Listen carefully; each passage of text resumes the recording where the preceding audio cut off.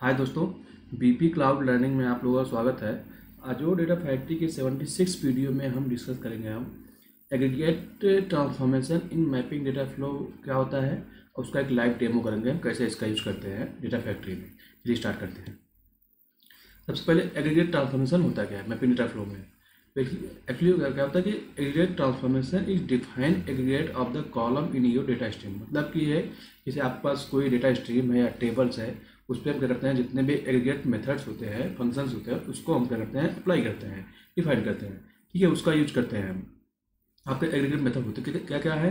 मैं बेसिकली बात करूँ, यहाँ पर जैसे सम हो गया मिनिमम हो गया मैक्सिमम हो गया एवरेज हो गया काउंट हो गया। ये क्या है कि मतलब कि मेजर एग्रीगेट मेथड्स हैं। इसको हम अप्लाई करते हैं आपके डेटा सेट पर जैसे एग्ज़ाम्पल मैं बात करूँ, यहाँ पर देख लीजिए।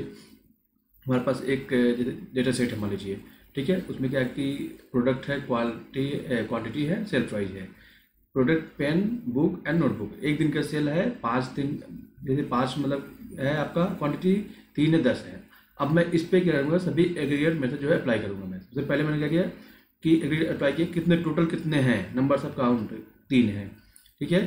उसके बाद मतलब कि टोटल क्वांटिटी कितनी है, कितनी क्वांटिटी है, यहाँ पर सम देखिए अप्लाई हुआ तो यहाँ पर मैंने क्वांटिटी को सम कर लिया। ठीक है, फिर आपका बताया यहाँ है टोटल सेल कितना है? तो यहाँ पर टोटल मतलब सेल को हमने काउंट कर लिया सेल प्राइस काउंट कर लिया है पर। मिनिमम सेल का है? दस रुपये कर लिया मैक्सिमम क्या है? पचास है। एवरेज इसका है कितना? आपका ट्वेंटी एट पॉइंट फाइव है। समथिंग ये मतलब आपका इसी को हम मतलब कि आज के सेशन में ये हमारा विद डेमो है प्रैक्टिकल है। ठीक है? सबसे पहले क्या करेंगे हम? कि लाइव डेमो पे हम मतलब कि एग्रीगेट मेथड अप्लाई करेंगे। फिर उसके बाद हम एग्रीगेट मेथड फिर ग्रुप बाई अप्लाई करेंगे हम। फिर करेंगे हम? कंप्यूटर कॉलम क्रिएट करेंगे हम। ठीक है, जो कि मतलब कि उसके साथ हम ग्रुप बाई अप्लाई करेंगे। कंप्यूटर कॉलम क्या होता है? बेसिकली हम क्या करते हैं कि कोई भी कॉलम जनरेट करते हैं डायनमिक कोई भी कॉलम जनरेट करते हैं। जैसे एग्ज़ाम्पल तो मैं बात करूँ, हमारे पास डेट डेट है तो उसमें से डेट से हमें सिर्फ़ ईयर मतलब निकालना है। तो हमारा कंप्यूटर कॉलम हो गया, सिर्फ़ मंथ निकालना है सिर्फ़ मंथ पे हमें मतलब ग्रुप बाई अप्लाई करना है। ईयर पे ग्रुप बाई अप्लाई करना है, वो हमारा कंप्यूटर कॉलम हो। अभी मैं प्रैक्टिकली आपको दिखाऊँगा, ज़्यादा क्लियर आपका हो जाएगा। ठीक है, चलिए मैं स्टार्ट करता हूँ सबसे पहले। सबसे पहले मैं बात करूँ, मैं एग्रीगेट मेथड अप्लाई करूँगा, ठीक है? ये हमारे एग्रीगेट मेथड फ़ंक्शन होंगे सब। इसको मैं अप्लाई करने वाला तो इससे इसके लिए मैं, हमारे पास क्या है? एसक्यूएल डेटाबेस हमने क्रिएट किया हुआ डेटा डेटाबेस के अंदर एक टेबल क्रिएट है। सेल प्रोडक्ट नाम टेबल में है, उसके अंदर मैं कोई डेटा यहाँ पर रा डेटा रखा हूँ, ठीक है? सेल डेटा बेसिकली इसमें क्या है? हमारा कॉलम जो है, आपके मतलब रो आई हो गया मतलब इसका यूज़ नहीं सेल डेटा है कंट्री है, उसके बाद सेल प्राइस है क्वांटिटी है। ये हमारा मतलब कि मतलब कि डेटा है, इसी डेटा पे हम अप्लाई करेंगे। जैसे फ़र्स्ट मैं अप्लाई करूँगा यहाँ पर, मैं बात कर रहा हूँ यहाँ पर जैसे कि मैं सिर्फ़ सिर्फ़ एग्रीगेट फ़ंक्शन की बात कर रहा हूँ। तो एग्रीगेट फ़ंक्शन में क्या देख लीजिए यहाँ पर count sum minimum maximum average सभी है। तो मैं सिक्वल में बात करूँ, मैं मतलब एसक्यूएल सर्वर में बात करूँ तो आपका देखिए एसक्यूएल सर्वर सेम आएगा आपका। ठीक है? जब जब इसको मतलब अप्लाई करेंगे, इसको हम मतलब कि कैसे डेवलप करेंगे, कैसे हम मतलब कि इन डेटा फैक्ट्री में कैसे इम्प्लीमेंट करेंगे, इसी इसी बारे में चलिए डिस्कस करते हैं क्विकली सबसे पहले जाएँगे हमारे पास। हमने एक डेटा सेट क्रिएट किया हुआ देख लीजिए। ठीक है सेम डेटा सेट हमारे पास है जो डेटा सेट हमें अभी आपको सीखिए सिक्वल सर्वर में।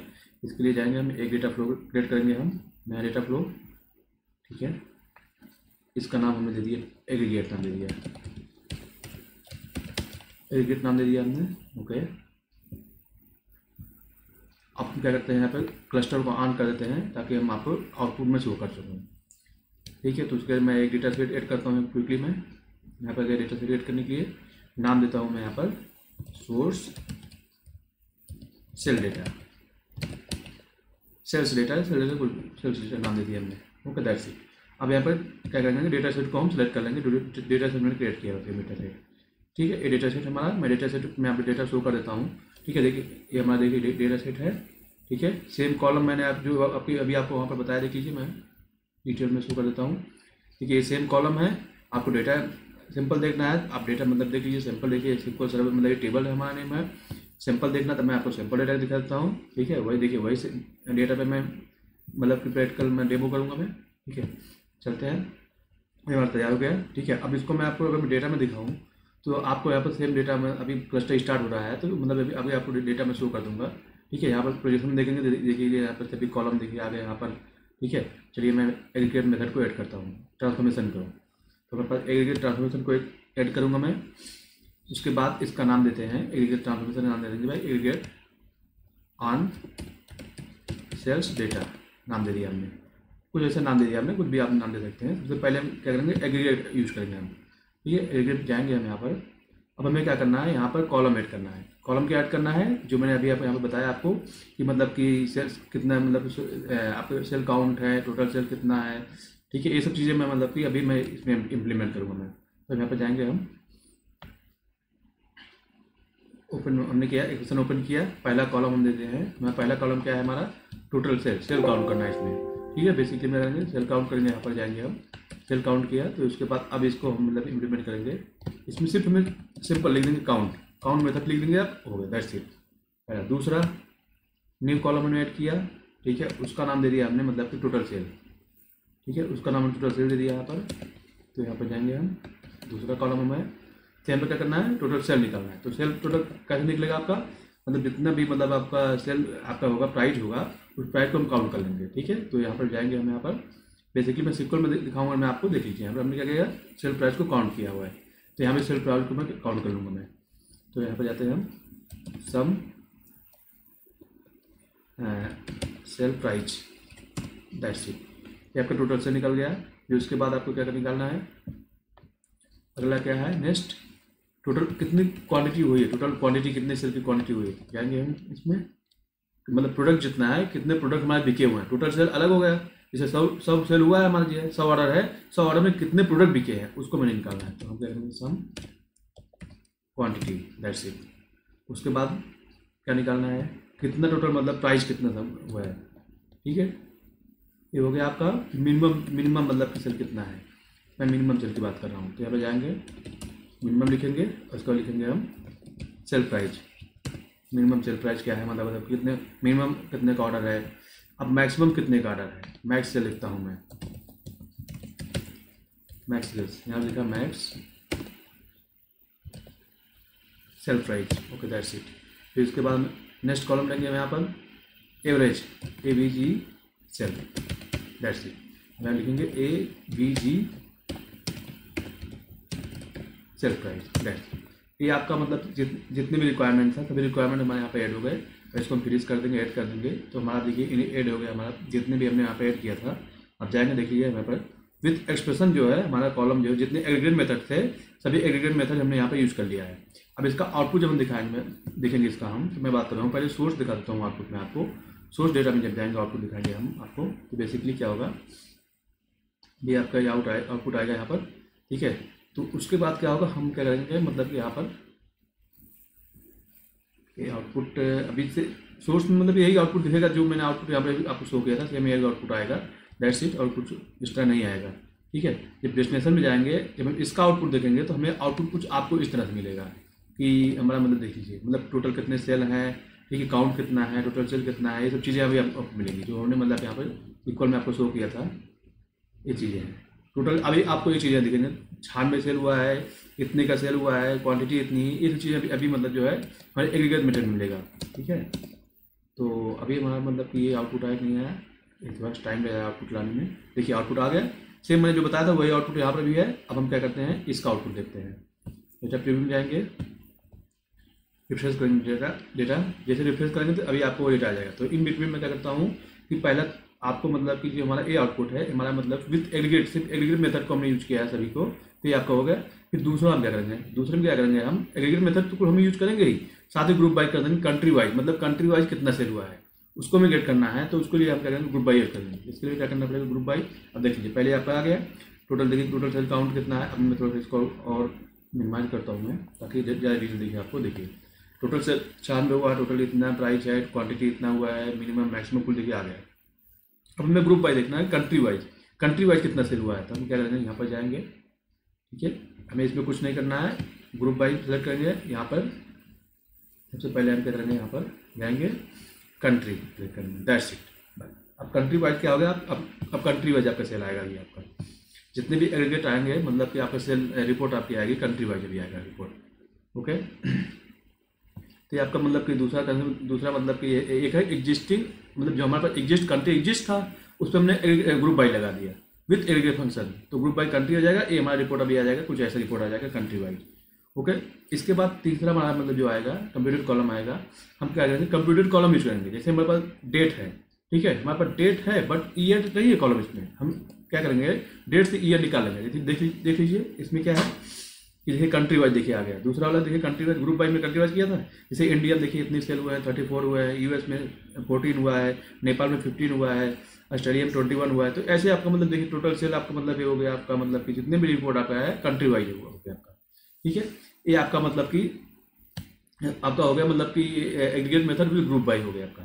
अब थर्ड आपका है जो कोर है कंप्यूटर कॉलम तो कंप्यूटर कॉलम में अगर बात करूँगा मैं तो इसमें अब जब आप सोर्स में जाएँगे डेटा सेट में। देखेंगे यहाँ पर कोई भी कॉलम यहाँ पर ऐसा नहीं है जिसमें मतलब ईयर आता हो। ठीक है? कोई कॉलम नहीं है।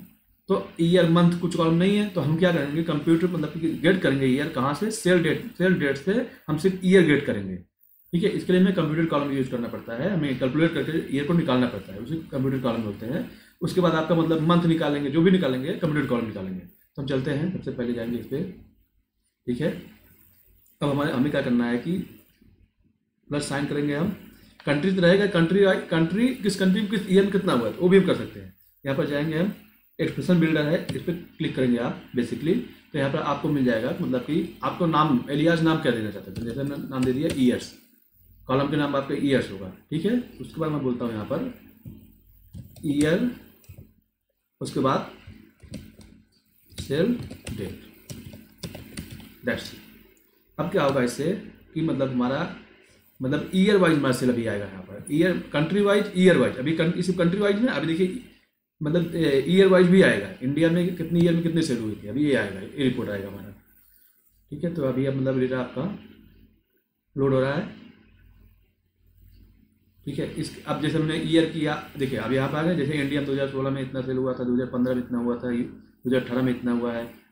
ये आपका क्या होगा ईयर वाइज ऐसे ही आप मतलब कि आपकी जो ज़रूरत हो, अपने हिसाब से जैसे हमने ईयर किया, आप प्लस करके इसमें आप अब जैसे मंथ एड कर दीजिए, आप यहाँ पर जाइए। ठीक है, जितना मतलब कि अभी तुमने मतलब यहाँ पर दिया है मंथ ठीक है, अब यहाँ पर मतलब सिंपल कुछ नहीं करना आपको। बस मंथ लिखना है। उसके बाद sale date sale sale date बस इट ये आपका मंथ हो गया। ठीक है, अब देखिए, ये मंथ आ गया ईयर मंथ डेटा आएगा हमारा। ठीक है तो इसका मतलब कि डेटा आपको मतलब कि ईयर मंथ देखिए डेटा यहाँ पर आ गया। अब हम क्या करते हैं, जो हमारा आउटपुट आएगा, इस आउटपुट को जो हमने मतलब जनरेट किया, उसको हम सेव कर देंगे डेस्टिनेशन पे। उसके लिए क्या करना पड़ेगा? सिंपल क्लिक करेंगे यहाँ पर डेस्टिनेशन ठीक, अब मैं डेटा शो कर लूँ पहले आपको। देखिए, अब आप देखिए डेटा देखिए। मतलब कि इंडिया में दो हज़ार सोलह में ग्यारहवें महीने नवंबर में दो सेल हुआ था। 2016 में छठे महीने में जून में चार सेल हुआ था। देखिए ईयर वाइज देखिए ईयर मंथ सब डेटा आपका रिकॉर्ड सब आ गया था ठीक है, अब इसको हमें जैसे मतलब स्टोर करना सेव करना है। यहाँ नाम देते हैं डेस्टिनेशन डेस्टिनेशन नाम दिया ओके दैट सिट अब यहाँ पर हम इसको हम सेव कर देंगे इन लाइन यूज़ करेंगे हम यहाँ पर। यहाँ पर करते हैं डेलीमिटेड डेलीमिटेड टेक्स्ट करते हैं। डेलीमिटेड टेक्स्ट मतलब C S V that's it कुछ एक्स्ट्रा नहीं है यहाँ पर। उसके बाद यहाँ पर आपका करिए मतलब कि आप यूज़ कर लीजिए लिंक सर्विसेज़ कहाँ पे स्टोर करना है, किस स्टोरेज अकाउंट में। कंटेंट नाम नाम दे दीजिए। डेस्टिनेशन, नाम दे दिया। उसके बाद हमें फ़र्स्ट रो हमारा हेडर होगा। ये आप इनेबल कर लीजिए।